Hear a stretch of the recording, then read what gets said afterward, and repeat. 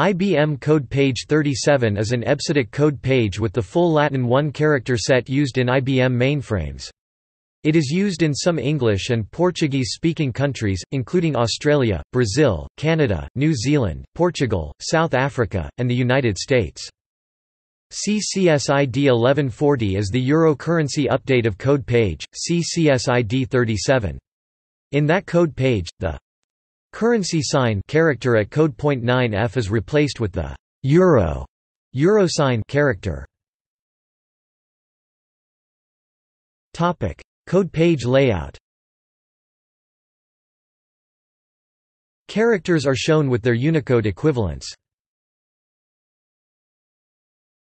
Topic: Code page translation.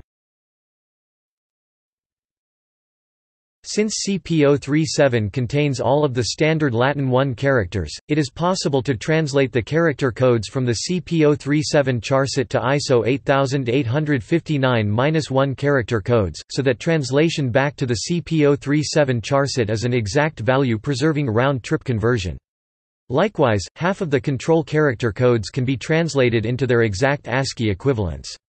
If the remaining EBCDIC-only control characters are translated arbitrarily into the remaining unused ASCII codes points hex 80 to 9F as well, the resulting translation covers all of the 256 character code points.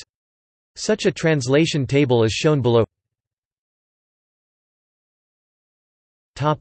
External links